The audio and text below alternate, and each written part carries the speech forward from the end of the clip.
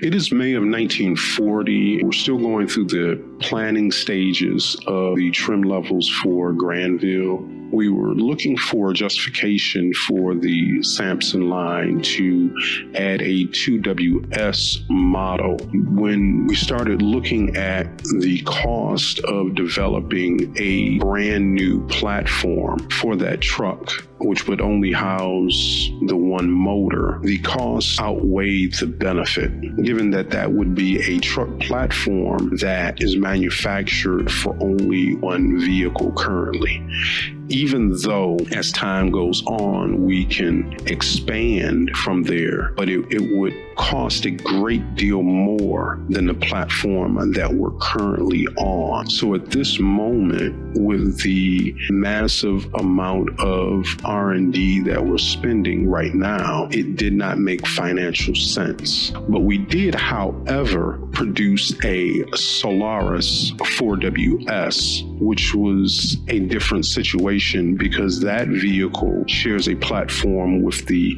Chiron and the Cyrus sedan. So we can lean heavily on economy of scale. So currently in our lineup, we have the single motor Solar, single and dual motor Molina, single and dual motor Cyrus, dual motor Sampson. We already started developing our Apollo full size SUV, which is going to share the platform with the Sampson. We have a dual and single motor Ravi compact SUV a single motor Elio shooting brake, dual and single motor Chiron full size sedan, and dual and single motor Solaris van. And on top of those, we have the Solar EES, Cyrus EES, Propel EES, future plans for the Elio EES, the Sienna EES, and Ravi EES. So we are going to do a prototype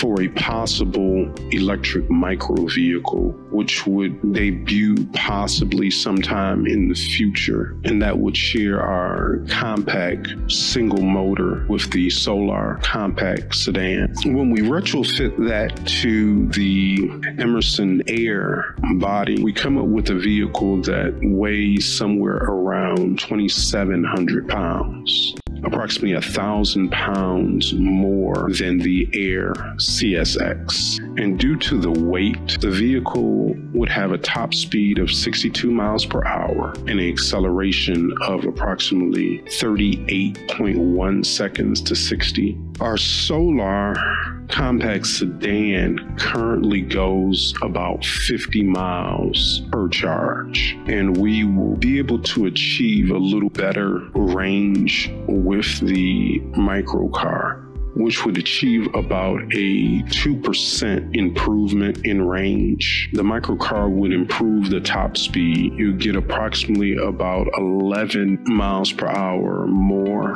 over our lightest sedan, which is the Solar, but at a reduced interior space because the vehicle will be approximately about 20 inches shorter than the compact sedan. If we equip the vehicle the same as the Solar compact sedan, we're only able to put a limited amount of equipment into the vehicle, primarily to keep the weight down, and that would push the vehicle weight just over 2,700 pounds, which would reduce the top speed of the vehicle. The range would not really be affected, but it would cost us almost about the same amount in material costs, and the project design would be a little more expensive. And given that we're only currently selling 95 solar sedans per month. This vehicle would slide in just below the price of the solar and price out more expensive than the current Air CSX which is the high performance micro car.